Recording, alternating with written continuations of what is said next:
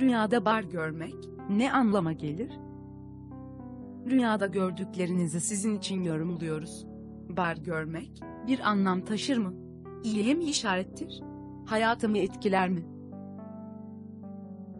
Rüyada bar görmek Bar bara gitmek, para kazanmak için yasal olmayan yollara başvuracağınız ve bunun sonucunda da olayların sizin açınızdan olumsuz gelişeceği anlamına gelir. Bara gitmek, para kazanmak için yasal olmayan yollara başvuracağınız ve bunun sonucunda devamını Rüya Tabirleri kitabı.com'da okumak için aşağıdaki bağlantıya linki tıklayın.